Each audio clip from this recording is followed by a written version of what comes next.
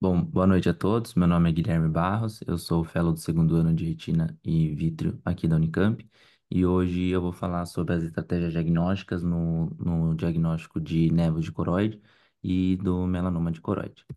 Então, quando a gente olha um fundo de olho e vê uma imagem bem típica, bem sugestiva de melanoma de coroide, o diagnóstico fica um pouco mais fácil. Quando a gente vê uma lesão grande, né, é, elevada, com DR, né, seroso próximo ou em lesão é, de cogumelo, o diagnóstico fica um pouco mais fácil.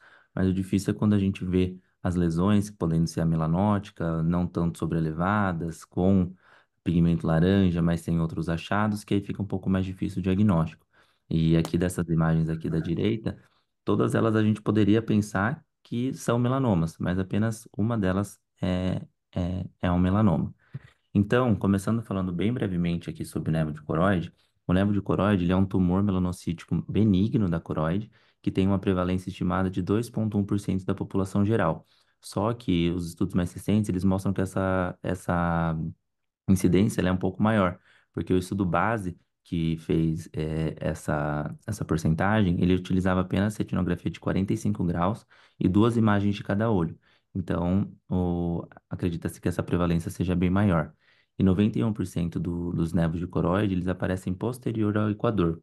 Elas são lesões planas, né, ou levemente elevadas, que podem ser preto acinzentadas e as bordas elas são demarcadas. A gente não consegue ver muito ao certo a definição da borda, mas a gente vai vendo que ela vai mesclando é, com a coloração normal.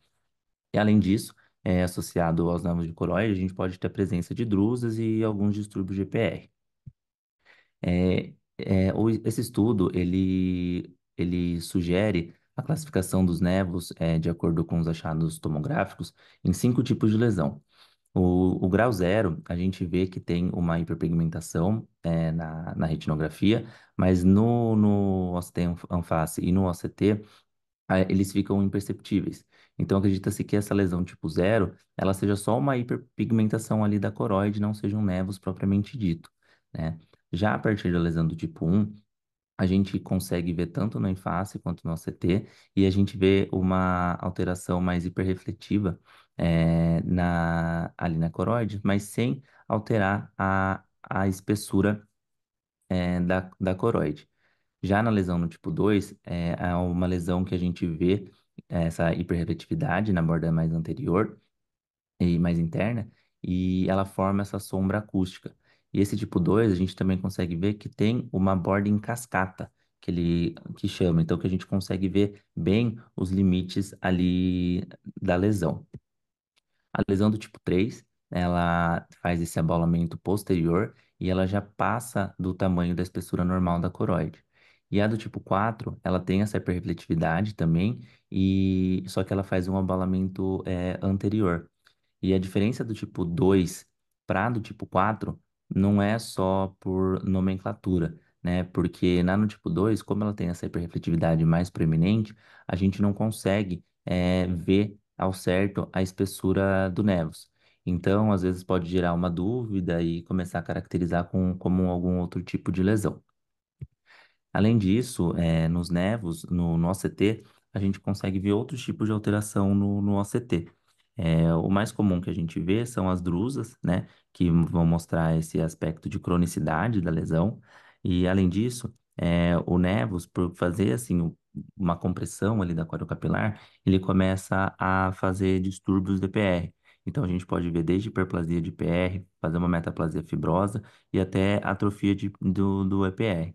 Ali nessa imagem do canto superior direito, a gente vê já que tem essa alteração, né, na, no, no EPR, que faz uma quebra da, da barreira hemato, eh, retiniana e começa a fazer um edema cistoide secundário ao próprio nevus.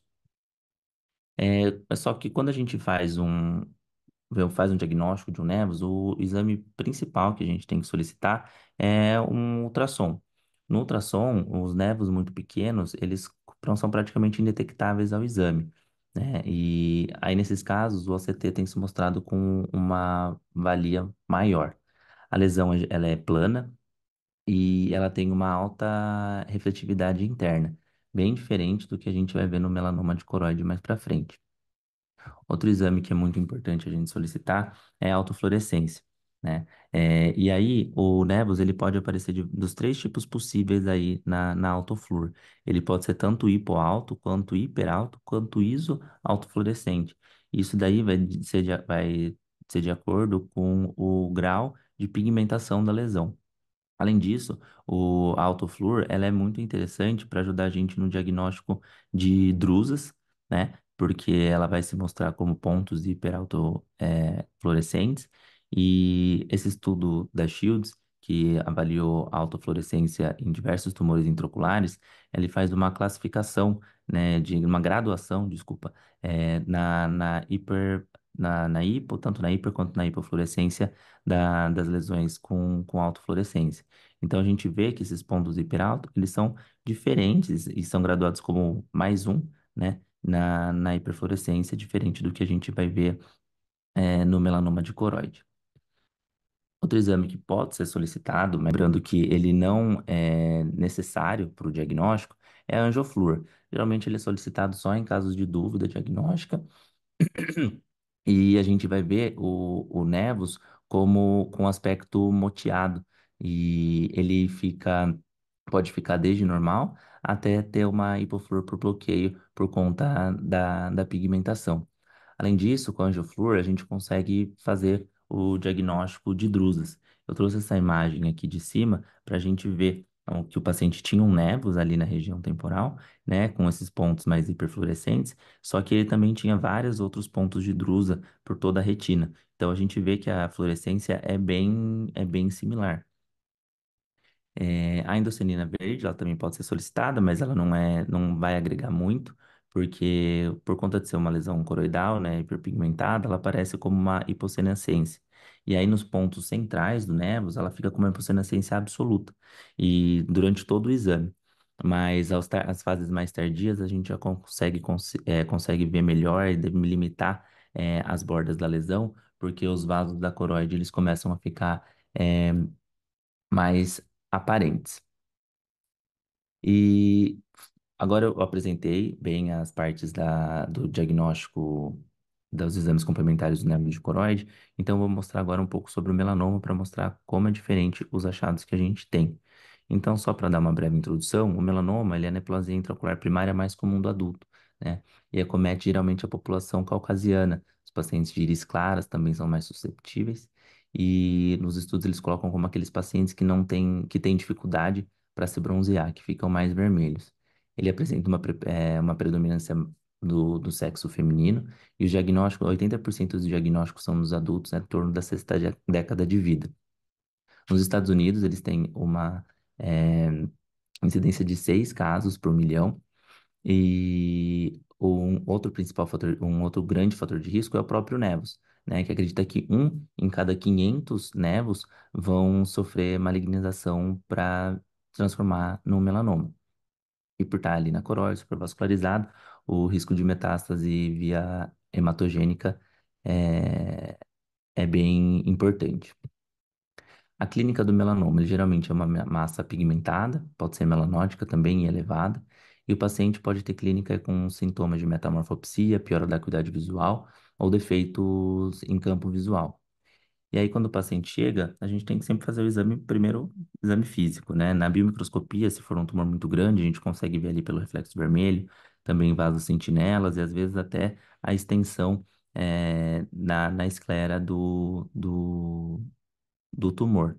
Mas, sem dúvidas, o principal exame que a gente tem que fazer é a oftalmoscopia indireta binocular. E aí, o melanoma, ele pode se apresentar de diversas formas, tamanhos, né, ali no fundo de olho e localizações. Mas ele é um tumor de consistência sólida. Ele pode ser tanto da forma de cogumelo, quanto da forma cupuliforme, que é a mais comum, ou forma difusa, e, se é melanótico ou não. E além disso, a gente tem que avaliar se já na retinografia a gente consegue ter algumas pistas de se a gente está vendo de um melanoma. Porque o diagnóstico não é só com uma foto, a gente vai ter que fazer todos e juntando, né? vários achados ali do exame para a gente conseguir chegar no diagnóstico final. Então a gente tem que buscar para ver se tem pigmentos laranjas, né, que é o cúmulo de lipofuscina, ou se tem um DR seroso associado. E esses dois fatores, tanto o fluido quanto o pigmento laranja, eles são extremamente importantes para o nosso diagnóstico.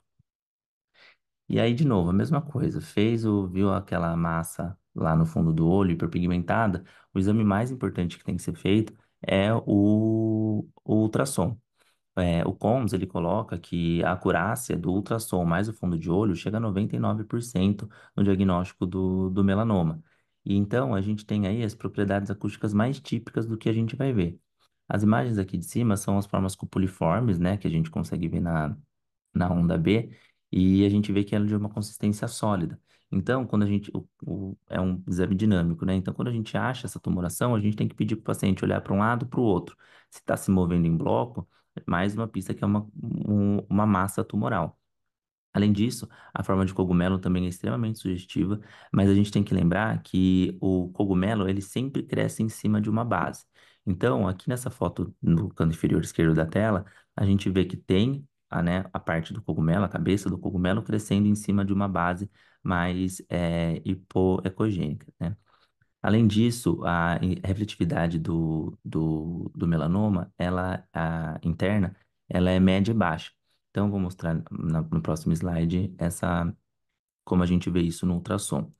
E quando o melanoma ele começa a crescer muito de tamanho, ele é extremamente vascularizado, um achado que é muito sugestivo de que tenha, que seja um melanoma, é a visualização pelo ultrassom na, na onda B de, de uma vascularização intrínseca do, do tumor. Então, aqui no, nesse videozinho, a gente consegue ver que na parte mais, é, mais interna do exame, a gente tem uma pulsação fina e rápida, que é muito sugestiva de que a gente esteja diante de um melanoma.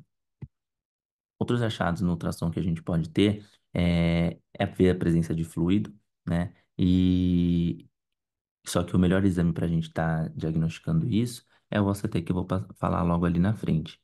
É, outro achado que a gente vê é esse silêncio acústico que faz a- na base do, do melanoma. Então a gente vê que a cabeça está mais branquinha aí, né? E atrás ele faz essa sombra hipo, hipoecogênica. Outro achado é o, a escavação de coroide. A escavação de coroide, a gente vê que ele, é nessa, é na, na terceira imagem aqui da direita, eu coloquei esse risco azul para mostrar que vinha a parte da esclera e depois fica preto, depois volta a ficar branco de novo.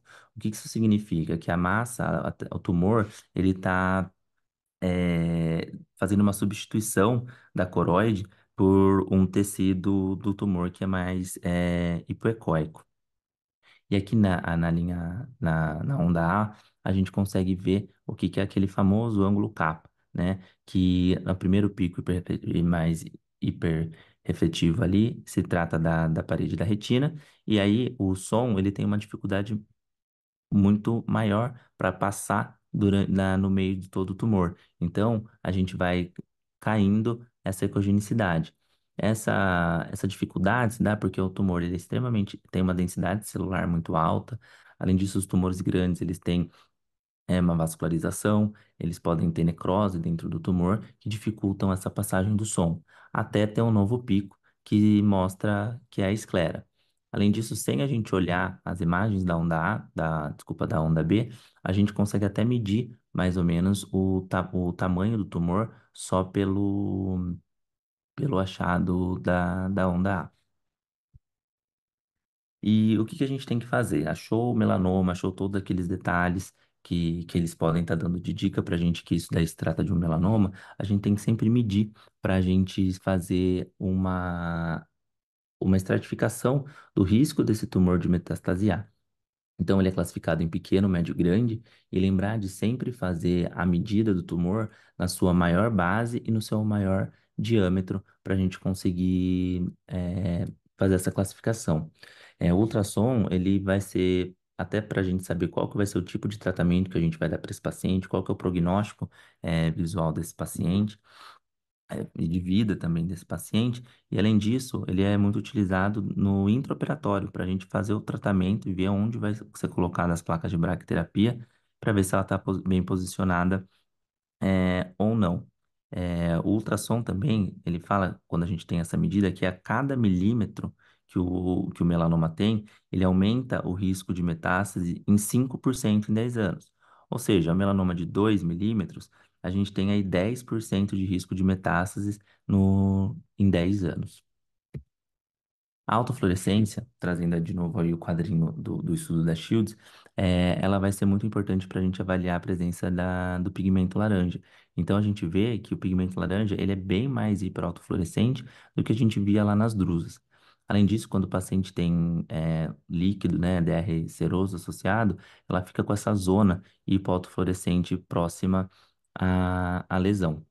Então, se a gente junta a espessura do tumor, pigmento laranja e a presença ou não de fluido, esses são os principais fatores de riscos para para ver a malignização.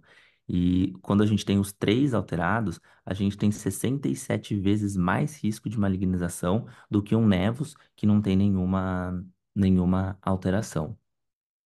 Já o ACT, é, a gente consegue ver algumas características também. Ele é o principal exame para a gente fazer o diagnóstico da presença de fluido subretiniano, né? E além disso, quando a gente tem o, o fluido subretiniano de forma crônica, ele fica meio que edemaciando ali os fotoreceptores e tem esse achado bem sugestivo, que é o Shag Photoreceptors, né? Que é o, o, são os fotoreceptores é, cabeludos em português.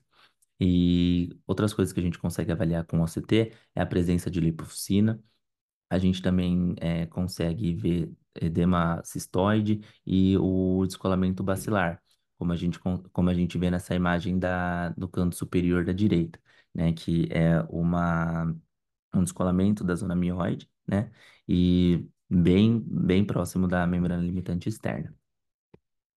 Na AnjoFluor, é, ele é um exame, né, que não é necessário 100% para fazer o diagnóstico, principalmente porque ele é um exame invasivo né? Mas os padrões na angiofluorescinografia, a gente vê esse aspecto moteado, ele fica hiperfluorescente nas primeiras fases do exame, e, e o pigmento laranja, ele vai se mostrar para a gente como área de bloqueio, né? Porque toda pigmentação, ela bloqueia a fluorescência.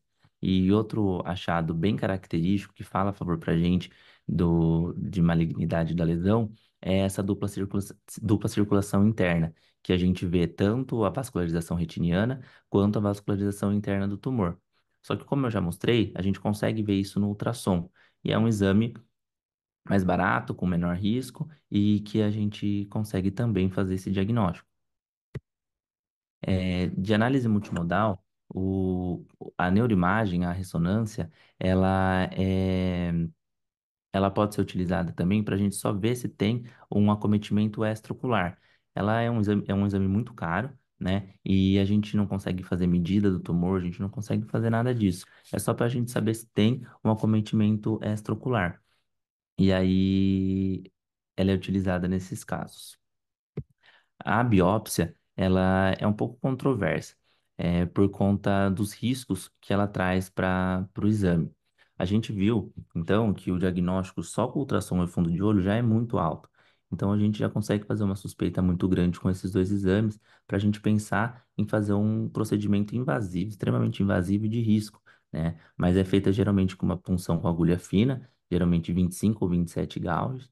É, ela pode ter suas complicações, como descolamento de retina, pode dar uma hemorragia vítrea, o risco de endoftalmite, e, além de tudo, trazer uma migração celular dessas, é, dessas células tumorais. E o diagnóstico, quando feito com, com biópsia, quando tem material suficiente, ele é de 90%. Então, ele é até um pouco inferior dos exames clínicos que a gente já está é, acostumado a fazer. E só que um ponto muito importante da, da biópsia é que com ela a gente vai conseguir saber exatamente o tipo histológico da lesão. Então, a gente consegue avaliar o prognóstico é, desse paciente. E aí, né, é, a gente fica, tem sempre o, o, meio termo. Essa lesão é uma lesão maligna, é um melanoma já, a gente já sabe, ou é um nevus que está em transformação.